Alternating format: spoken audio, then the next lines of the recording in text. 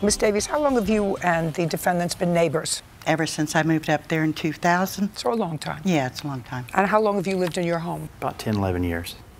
You had a tree on your property. Yes, ma'am. That tree or branch of that tree that was on your property fell over and damaged the fence and a rabbit hutch that was on the plaintiff's property. That's correct. And she's suing for a nominal amount to fix both the fence and to reconstruct the rabbit hutch. If I'm reading your answer right, you acknowledge that the tree was leaning over on her property, and I don't think you even deny the fact that some of that tree, if not all of it, was dead. What kind of tree was it? Uh, it was a, uh, a scrub oak. It was not dead. was that branch dead? Uh, no, it was not. Do you have photographs of the tree? Yes, ma'am, I do. I'd like to take a look at it. Your defense seems to be if Miss Davies wanted to trim your tree, then she should have done that. And then she wouldn't have had the damage. Correct. Right? This is where you are mistaken. Your last name is? Dunn. Dunn?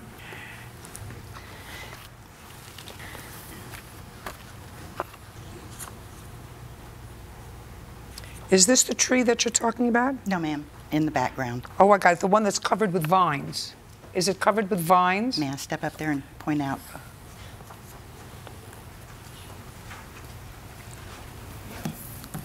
Circle it. And then in the other picture, she'll see the top where it broke.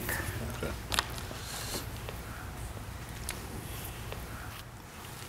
It's hard for me to tell whether it. Hmm? Well, there's, she said there's another picture where you can see the top of it that, that it broke And. Your Honor, Oh, this one. Right. So it was a big branch that fell off. Okay, I got it.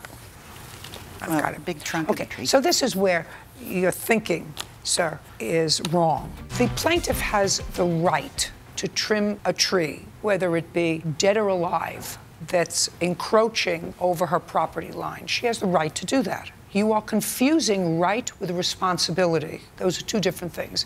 You couldn't complain if the plaintiff trimmed the tree that was hanging over her property. You would have no cause of action because you are encroaching on her property.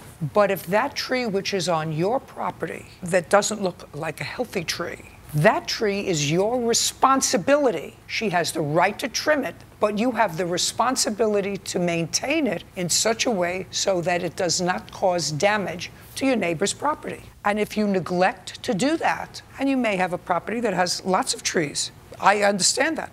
It's happened to me many times, both ways with neighbors. But if my tree damages a neighbor's property, I'm responsible, even though the neighbor had the right to trim it. You're confusing those two things, sir. Do you understand? No, I disagree. Well, I'm going to try to explain it to you again. Fine. The branch of your tree was hanging over her property, over her fence, and over this rabbit hutch. She, if she wanted to, at her expense, could have had someone come in and trim that tree, and you would have no cause to complain. Mm-hmm. That was her right. However, she does not have the responsibility to maintain the tree. You do. It's your tree. And if your tree, because she chooses not to spend the money to trim it, if you choose not to either take it down or trim it, it's your responsibility if it causes damage. I tried to say that even louder so you could understand it. I understand what you're saying, uh, but she let the branch die enough where a storm caused no, to fall on her sir. property. You let it. Sorry, Your You're being annoying. Because I, don't understand why somebody would want to interrupt when we're running. when it appears as if your side is winning. I'm sorry, Your Honor. Weren't you listening to what I said to him? Yes, ma'am. She didn't let the branch die. You did. And right now, you just cooked your own goose because you said it was a healthy tree. You said she let the branch die. She didn't. It wasn't her tree. It was your tree. That And- branch laid in her property. That's where she let it die, where she gets her pictures of a dead tree. I don't understand. Are you?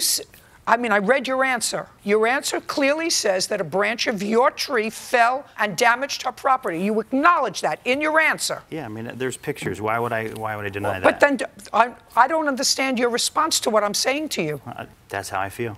I don't care how you feel. Your, you're feeling fine. is unimportant to me. I just told you what the law is.